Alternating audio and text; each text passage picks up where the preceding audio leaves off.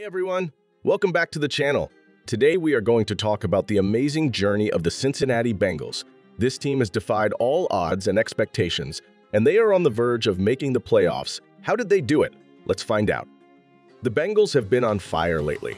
Winning three consecutive games against tough opponents, they started with a close win over the Jaguars on the road, then they crushed the Colts at home, and finally they edged out the Vikings in a thrilling overtime game. These were not easy games, folks. These were playoff caliber teams that the Bengals beat. A quick reminder to everyone, if you are new to the channel, don't forget to like the video and subscribe to the channel for more NFL content. I'm hoping for 50 likes on this video. The Bengals have shown that they are not a fluke. They have a talented and resilient squad that can compete with anyone in the league. They have overcome a lot of adversity, especially the loss of their star quarterback Joe Burrow to a season-ending injury. Many people thought that was the end of their hopes, but they proved them wrong.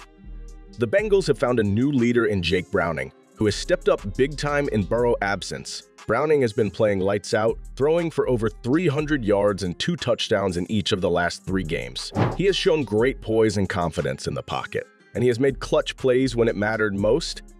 Browning is not alone, though. He has a lot of weapons to work with on offense. Joe Mixon, Tee Higgins, and Tyler Boyd have been instrumental in the Bengals' success. Mixon is a dynamic running back who can run and catch the ball. Higgins and Boyd are explosive receivers who can make big plays down the field. Unfortunately, Ja'Marr Chase, another talented receiver, got injured in the last game. We hope he recovers soon. The Bengals' offense is not the only impressive thing.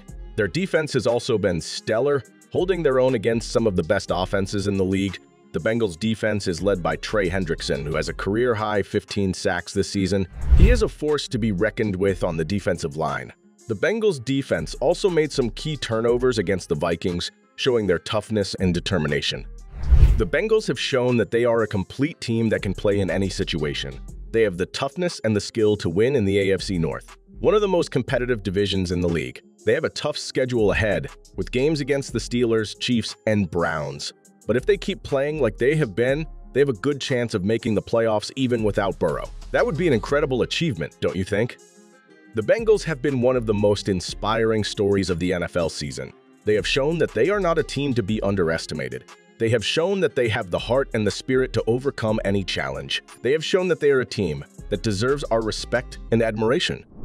If you enjoyed this video and want to see more NFL content, please hit that like and subscribe button.